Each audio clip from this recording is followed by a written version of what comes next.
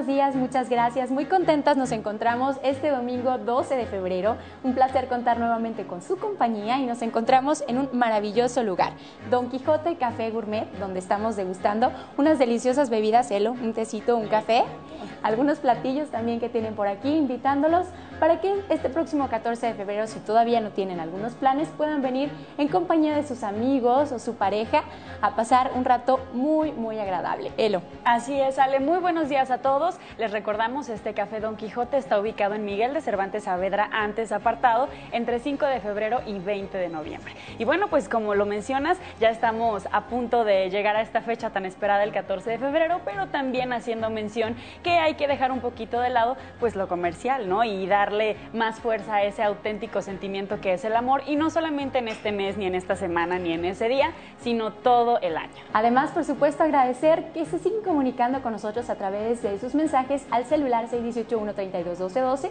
al cual hemos recibido muchísimos comentarios, por supuesto, de manera muy positiva.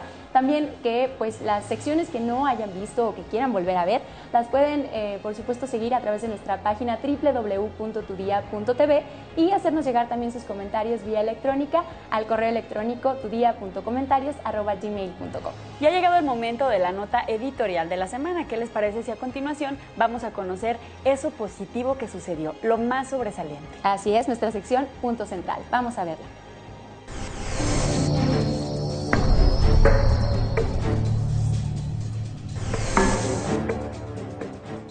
Por primera vez en su historia, México lidera un proyecto instrumental astronómico internacional de gran envergadura y sorprendente, llamado Frida.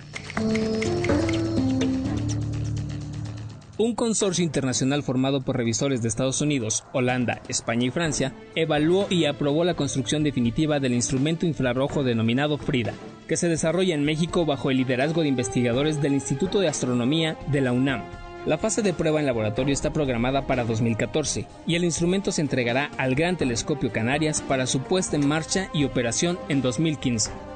El equipo de trabajo está integrado por José Alberto López, principal investigador de FRIDA, y Alan Watson, quienes contribuyen a la definición del instrumento y el área de ciencia. La gestión de los proyectos está a cargo de Beatriz Sánchez, mientras que el diseño óptico es de Salvador Cuevas. La integración y la validación es responsabilidad de Carlos Espejo. El control de subsistemas depende de Rubén Flores y la definición del instrumento y el área de ciencia corre a cargo de Alan Watson. En el grupo también participan Oscar Chapa, Luis Carlos Álvarez, Gerardo Lara y Carolina Caimán todos del Instituto de Astronomía de la Universidad Nacional Autónoma de México.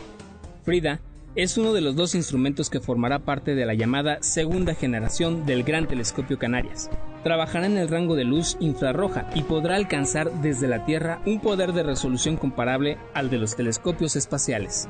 Se trata de la tercera colaboración de astrónomos e ingenieros del Instituto de Astronomía con el GTC, quienes en la primera etapa participaron con colegas españoles en el diseño y construcción y puesta en marcha del instrumento Osiris, que funciona con éxito en el equipo canario.